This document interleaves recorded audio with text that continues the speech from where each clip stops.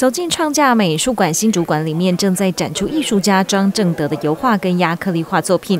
庄正德老师的父亲庄世和是台湾战后现代艺术运动的重要推手。庄正德从小受父亲影响，对绘画也十分有天赋。他的绘画里面有抽象的自然景物，也有具体的人物，用画画来诠释他的抽象艺术世界。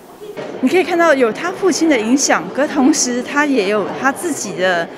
嗯，他有逐步走走出他自己的特色。那你可以，其实大家从这次的展览当中可以看到比较脉络式的，从老师不同的时期，也可以从刚刚提到比较早期他父亲的影响，然后到后来你可以看到他自己，然后是我们刚刚有看到他针对海洋这个方面的一个切入，还有他的整个。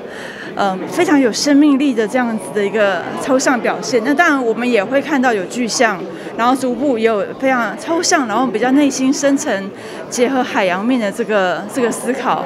张老师从小跟着父亲居住在屏东的潮州，这边一望无际的山跟海带给他很大的刺激。这次受邀来到新竹市展出，他说：“屏东有落山风，新竹也有九江风，两个城市的共同点牵起了一种强烈的艺术刺激，是人文的互动比较多，心灵的互动，让大家都去读说以艺术在这个城市里面。”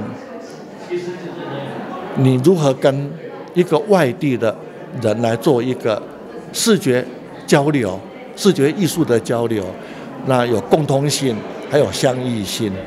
那这个交流都是很真诚的，因为没有特别的目的，只是一个真诚的、单纯的、深邃的啊。所以这也是我很高兴来到新竹这边，就是以风的心情啊。